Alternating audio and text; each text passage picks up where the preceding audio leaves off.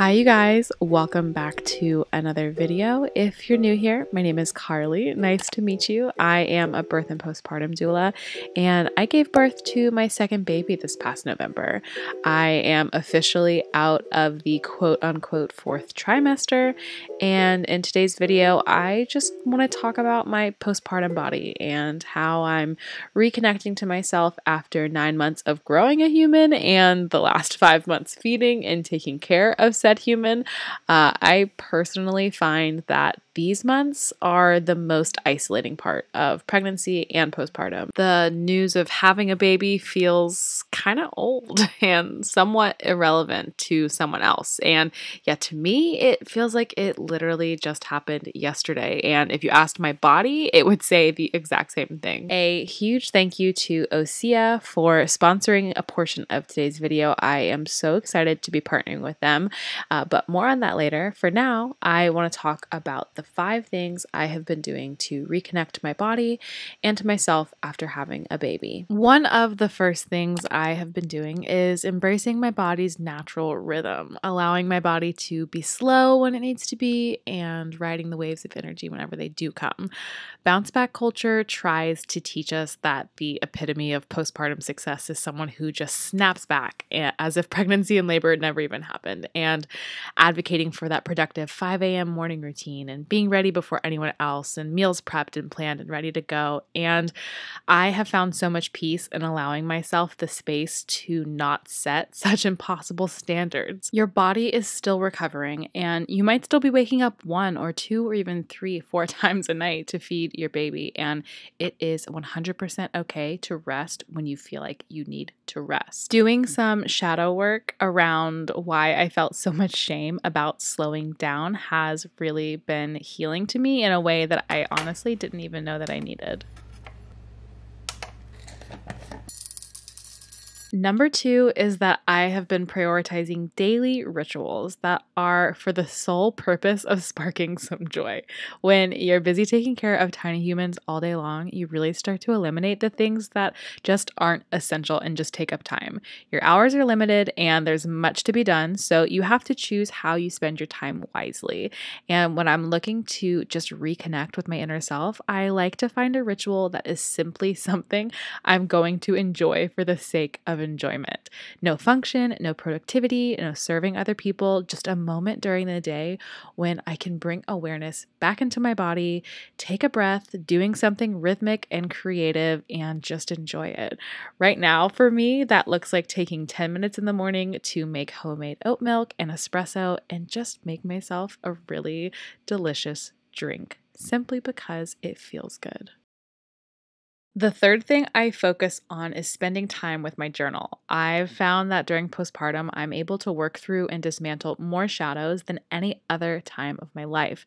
Something about being in such a raw and vulnerable state really just opens me up to introspection, and it feels really, really good to lean into that rather than resenting how emotional this time can be and how sensitive and uh, just really vulnerable I feel. I try to to use that to my advantage and using that vulnerability to open up pathways that I've never been able to explore before and really just allow myself the opportunity to use this time as a portal for emotional maturity. Uh, one big one that I have been unpacking is body image and how my experiences have shaped the way that I view my postpartum body. And I've been writing some affirmations to kind of work through that relationship I have with myself, and it's been incredibly powerful and healing as I've watched my body as well as my identity as a person change and just kind of leaning into the discomfort that comes along with that.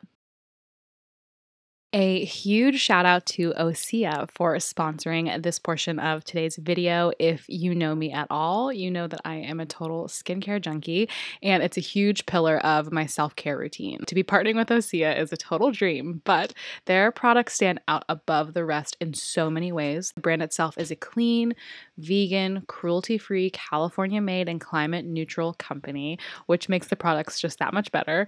And I have been using their algae body oil and body butter on my entire body every single day, especially while the air is still so bitter and cold here.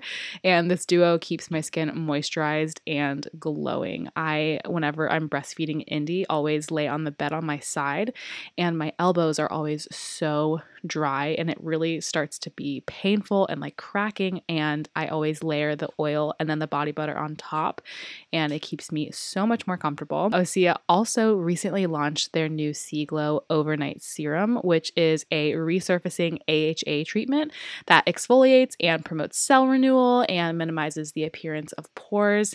And it is truly spectacular. It's formulated with fermented shionku oil, spirulina, and seaweed, and it's really effective effective, but not too harsh on my sensitive skin. You just apply it before bed and top it with your moisturizer. And when you wake up in the morning, rinse it off, and your skin is insanely soft and smooth and radiant. Uh, the way that my hormones shifted during pregnancy and postpartum has essentially given me an almost entirely new skin. So I've had to ditch so many of the products that I used to use to find a completely new skincare routine to suit my new skin needs. And Osea's products are some of my absolute favorites. If you want to try try some, you can get 10% off of your next order by using the link in my description box and just use this code right here on the screen. And thank you again so much to Osea for partnering with me on this portion of today's video. Another thing I've been doing to reconnect to my body is going to the gym and getting a personal trainer who specializes in working with those going through postpartum. My pregnancy with Indy left me feeling incredibly weak and fatigued, and frankly, I was worried that I wouldn't be able to go through labor because my body just felt so weak. And then during the first three months of postpartum, I was just easily winded and in pain from the day to day body work of caring for my new baby. And I didn't feel strong enough to do the things I needed to do every day and went to bed feeling just completely wiped. So I decided to start working with Cassie in order to regain that strength and mobility that I was so desperately lacking. And you guys, let me just tell you that this is hands down the most effective thing I've done to help reconnect myself back into my body. Uh, Cassie has a background in Pilates, and it has been a game changer in strengthening my muscles on a deep level.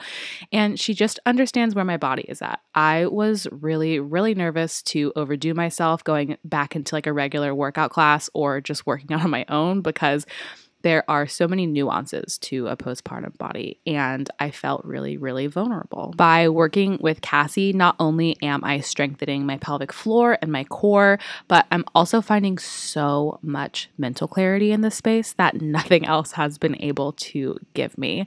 I've never really been very into going to the gym, honestly, because I just had the wrong mindset. But starting this off on the right foot with a healthy relationship to my body and to my goals has made all the difference.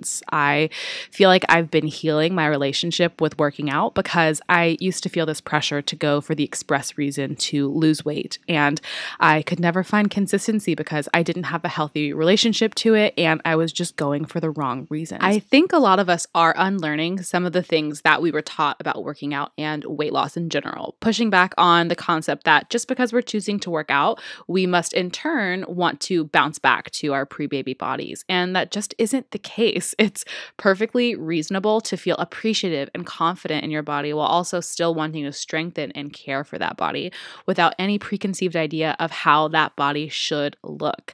I feel like I could really sink into my workout because I'm just not carrying this mindset of, oh, I'm here to get back to my pre baby body. I am simply here to give my body what it needs to be healthy, and that feels really fulfilling. I go to one training session a week with Cassie, and then I do another workout once or twice a week on my own.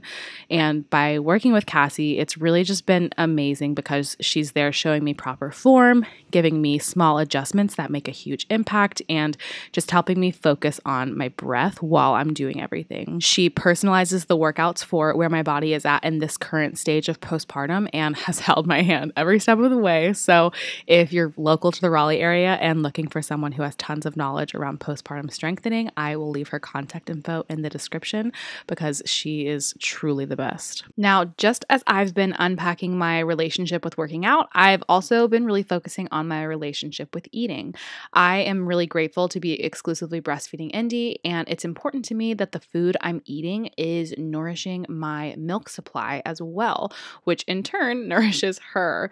The concept that postpartum people should be striving to get their pre baby body back rather than focusing on how to nourish and give your body what it needs is seriously insane. So, here is your gentle reminder that you do not need to be cutting calories. You do not need to be restricting your eating after you've had a baby in order to get your pre baby body back. Give your body the fuel it needs to be the healthiest and best it can possibly be. Alongside the work that I've been doing with my journal and my morning routine and at the gym, I'm also spending a lot of time just with my physical body. When we're pregnant and growing a baby, we're so proud of the way our bellies get bigger and start to show. We take photos of them and just really bring attention to the fact that we're growing. But the minute there's no longer a baby inside, there's this immediate inclination to hide your stomach. It's no longer round and full of life it's lower and saggier and softer, where there once was me and a baby is now just me with remnants that there used to be more. And as birthing people, we've been taught throughout our lives that pregnancy is something to bounce back from that having an altered body after having a baby is something to avoid. And we obsess over the oils and the lotions to rid ourselves of the stretch marks and the evidence that we were ever once the portal for a new human to come into this world. And in order to work on eliminating that shame, I've shifted my narrative. Rather than trying to erase that history from my body, I'm spending my time admiring it. Every day, I take intentional moments adorn my belly with oil. I treat it as a ritual where I'm admiring the skin that housed the two little people who I love most in this world, setting the example for them that this body isn't something to just bounce back from, but that it's a space to be nurtured and admired and praised. I walk around with my stomach showing all the time to create space for me to just love my body exactly as it is in this moment, not what it once was or what I wish it to be, just exactly in this moment as I stand here today, loving myself deeply and wholeheartedly. Self love is an act of practice, and I'm working really hard to do that. That's going to do it for today's video. I hope that you were inspired in some way by watching this. And again, a huge thank you to today's sponsor, Osea. Be sure to check the link out in my bio to shop their products, and I will see you guys in next week's video. Bye.